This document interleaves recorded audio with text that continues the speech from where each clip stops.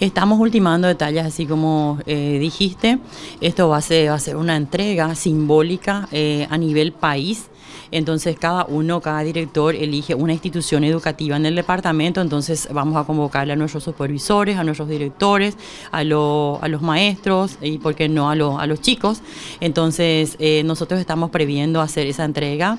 en el Centro Regional de Educación, acá nuestros vecinos. Está previsto, el, el MES contrató a una empresa, entonces la empresa es la que, la que va a llegar, como años anteriores, llega a la institución educativa. Es más, nosotros estamos actualizando directorio de nuestros directores, en, eh, ellos se comunican directamente con ellos es más, si no tienen, si no están, están de vacaciones o están fuera del país los directores, entonces ya tenemos una autorización en donde ellos firman y ya le dejan a la persona autorizada para recepcionar los equipos. Así como le comenté, eh, compañero, nosotros eh, estuvimos en, en, Capital en una reunión con el ministro, entonces él dice, prioridad es kit escolar, que ya se está haciendo,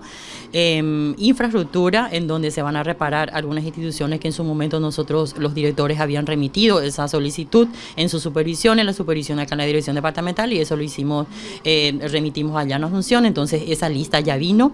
y se van a reparar más de 20 instituciones acá en el departamento de Concepción. Entonces, dice el ministro, esas reparaciones se tienen que hacer antes de, antes de febrero, antes que inicien las clases, y temas de rubros también que estamos teniendo algunas situaciones. tenemos una lista, nosotros ya eh, remitimos a, a, los intendentes porque como bien sabemos de que eh, nosotros preparamos en microplanificación y en eso se, se, pone el listado si va, se va a hacer construcción nueva o se van a hacer reparaciones. Y esta reparación por ejemplo va a ser de muchísima ayuda para, para los distritos